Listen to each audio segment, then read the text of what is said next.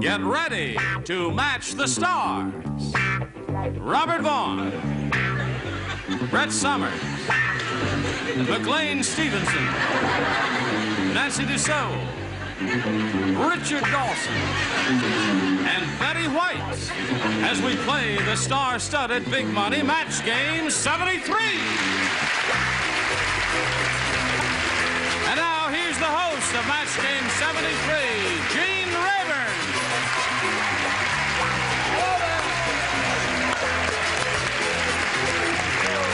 Hello there. Thank you, Johnny Olson.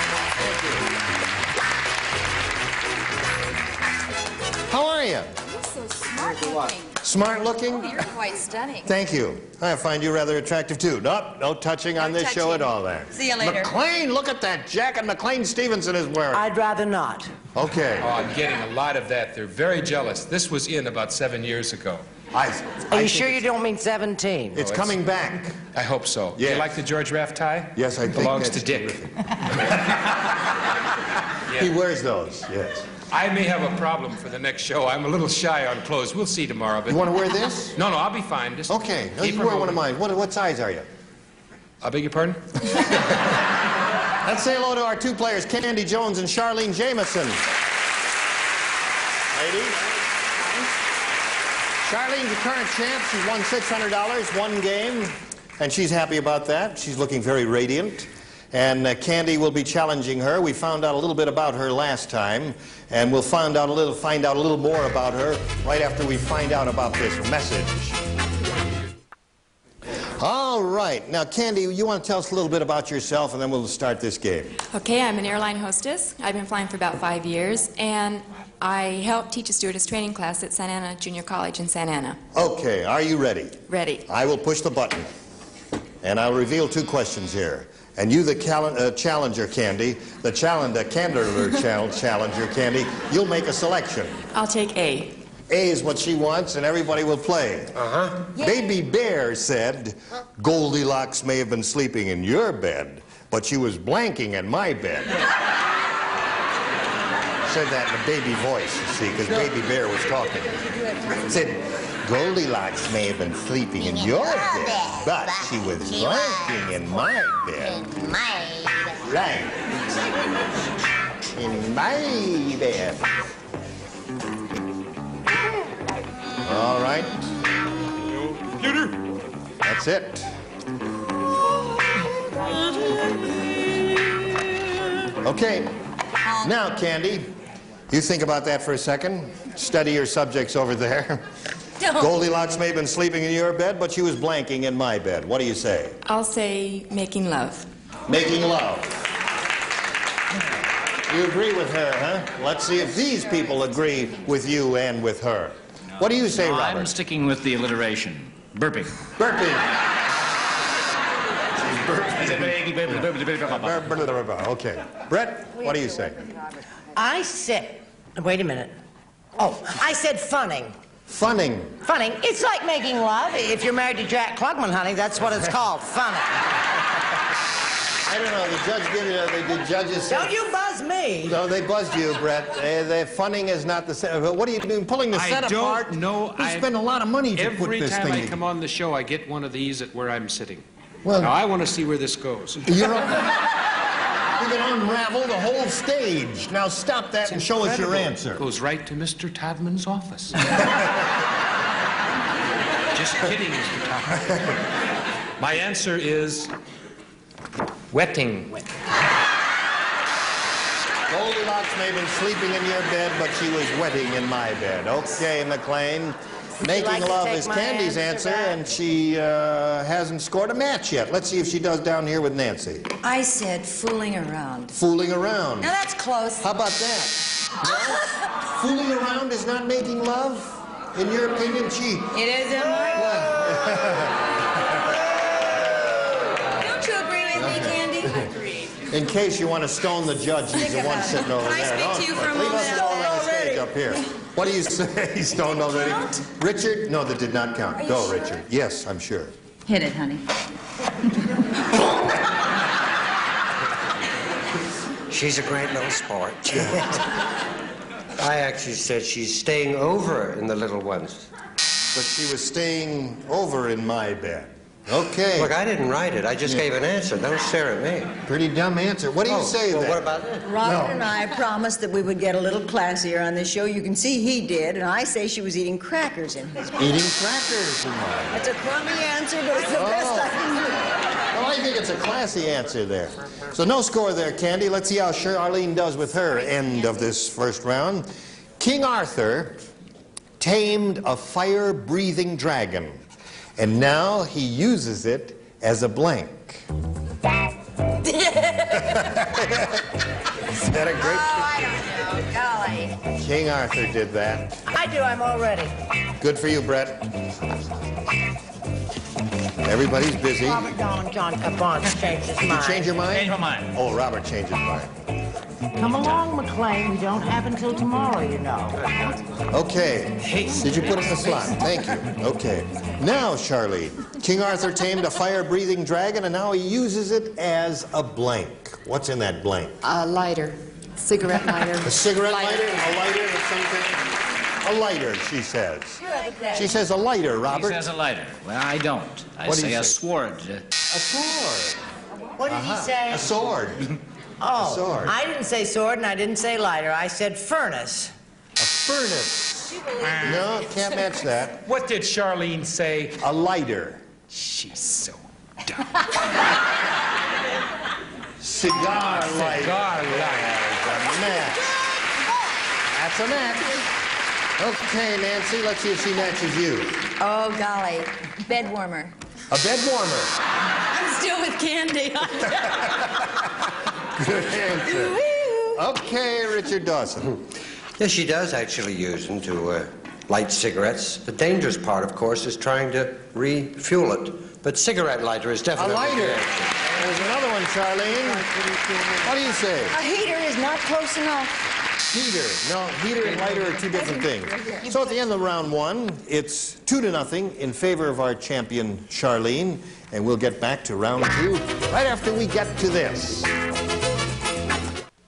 Okay, here we go with round two, ladies. Push the button and ask Candy to make a selection. Two to nothing favor the champ. What do you say, Candy? I'll take A again. She wants A again, and since she matched no one last time, everyone plays this time.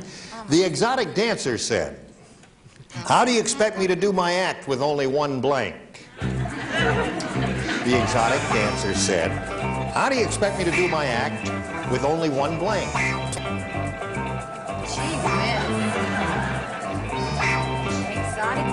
An exotic dancer. You did say spelling doesn't count. Yeah. Spelling doesn't count at all. Doesn't matter Quickly what it's I know, spelled I'm, like. I just, I can't. I, You're the last one. huh? Oh, am I the last one? Yeah. This is. Come on, Mary Pickford. All right. So, now, Candy Jones, the exotic dancer, said, How do you expect me to do my act with only one, The first thing I thought of was navel, so I'll go with navel. with only one navel? I could think of. The only thing you could think of, huh?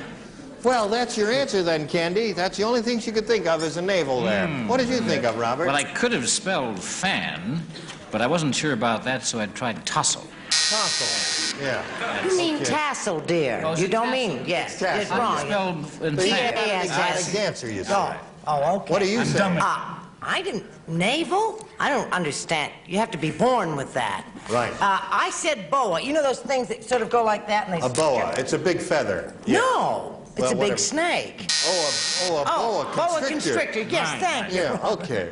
McLean. Now, this is true. I was going to say navel, but it didn't get a big laugh. It didn't? It, no, it didn't. Excuse me, these are Japanese stick-on caps, and they're not.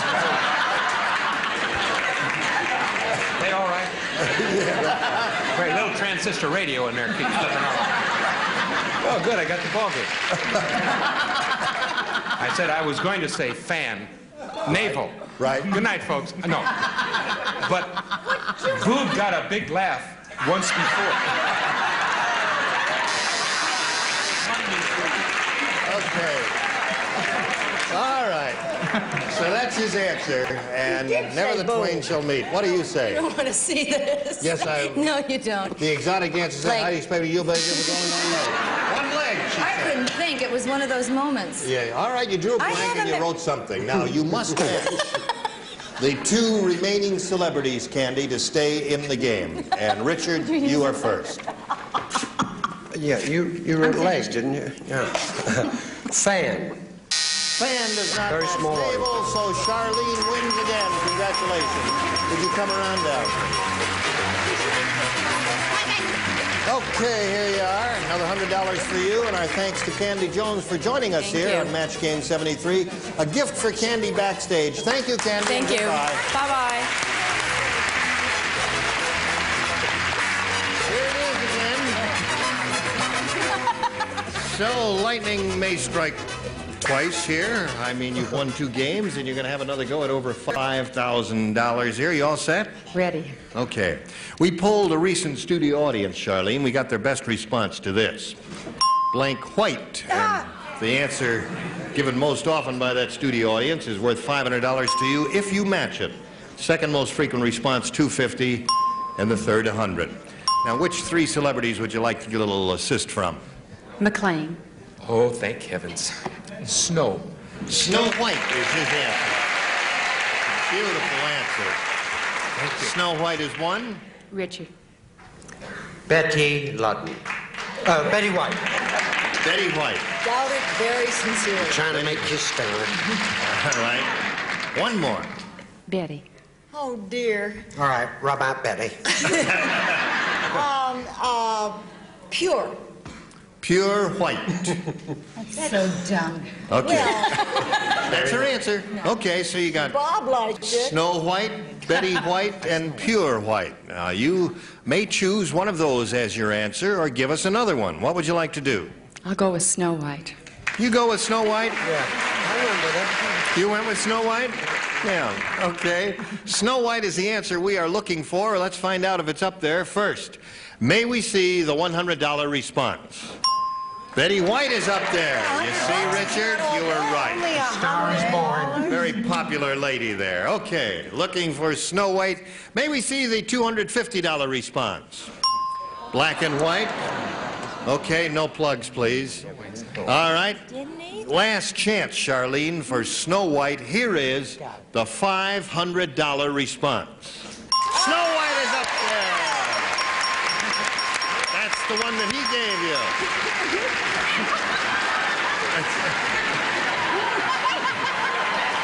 That's enough. That's enough. I'm an animal.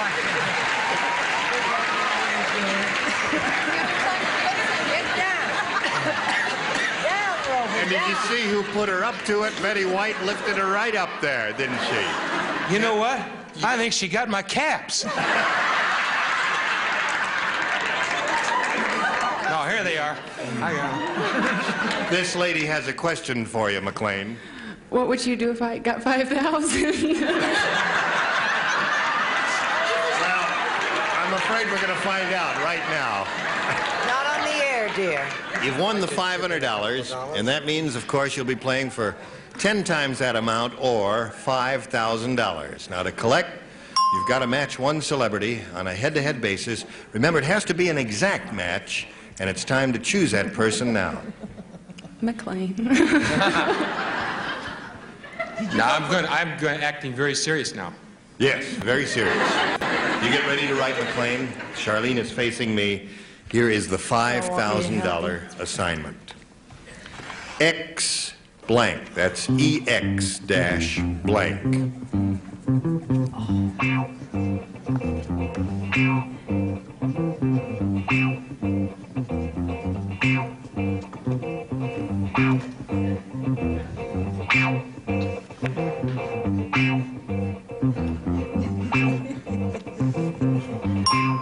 Okay, he's finished. Charlene, how do you handle that? EX dash blank. X blank. Ex-wife. Ex-wife? Your audience apparently think that's a winning answer. All right, for $5,000, McLean, may we see your answer? Yes, you may see my answer. I said exit. Exit. You said exit, McLean. I know. I So didn't, move out. All right. I didn't want to say ex-wife because there might have been trouble. So Anyway, disappointed in you. she's she's won additional cash. She's up to twelve hundred dollars now, and she's going to meet another challenger right after we meet these messages. Okay, we're all set to start another game here. Let's do that by welcoming our new player, Ellen Hoey. Hi, Ellen. That's Ellen.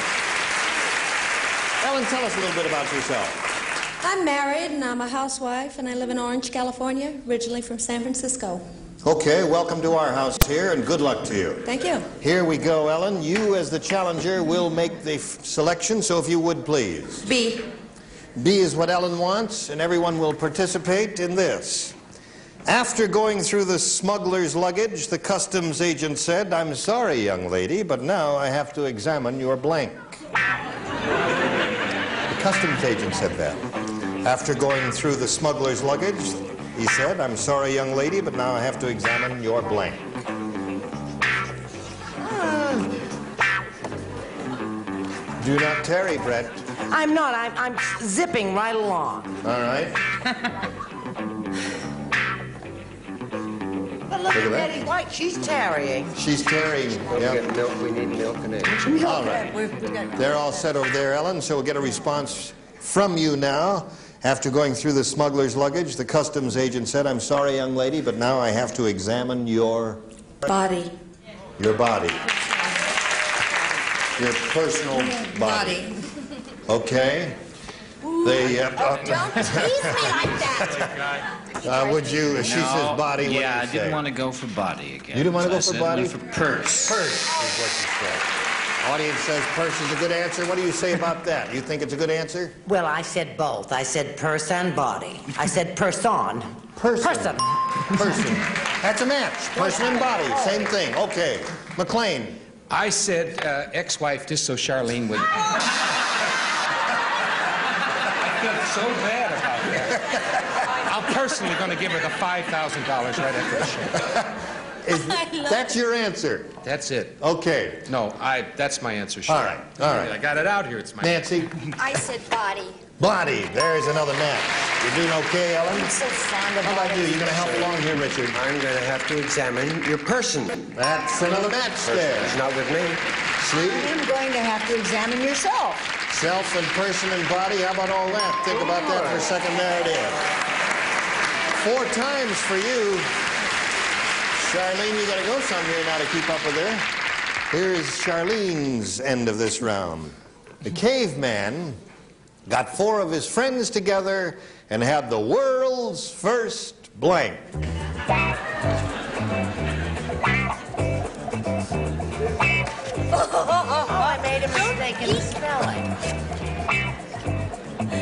Caveman got four of his friends together and had the world's first blank. Only three are finished. A lot of thinking going on here. Don't think too much, friends. Can I add? I'm word not thinking. I'm spelling. Sure, change it. Well, that's good enough. No, that's okay. Now they're all ready. So, Charlene, we call on you. The caveman got four of his friends together and had the world's first Orgy. orgy.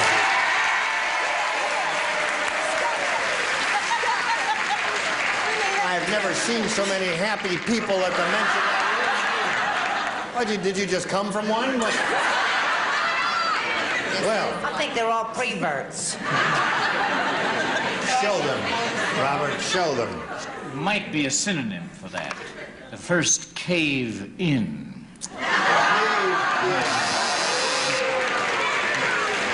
Very intellectual answer, but a loser. Dumb. Dumb. Right. He really does give very dumb answers. He's a sweet person, but dumb answers. A party or a bridge game? Smart answer. Oh, yeah. That's smart. That's smart. Couldn't even draw on the cave walls yet. They were having bridge games. McLean, what do you say? Well, I say a dance. A dance. All right. Sure, boo and hiss. What do you used to be the say? What do you favorite. say those cavemen got together did? What do you think? What? I don't know. What do you... Orgy! Orgy! Folks, this audience is cheering for an orgy here. Hey there, Buckaroo. What do you what, say? was, uh, what was the order? Two orgies to go?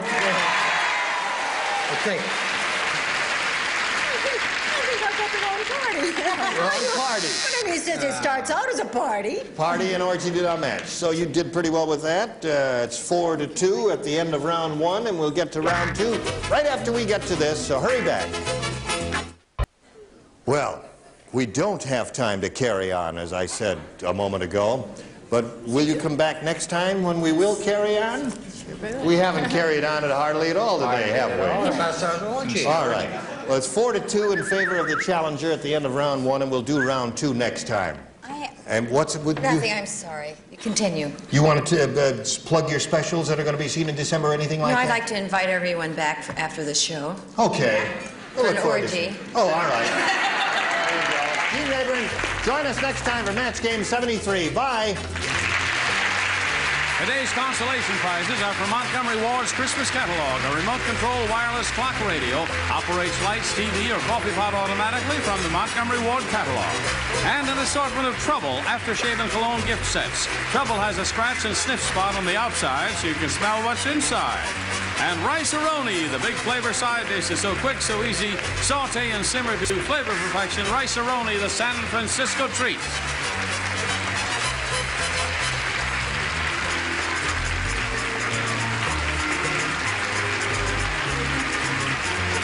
This is Johnny Olson speaking for Match Game 73, a Mark Goodson, Bill Todman production.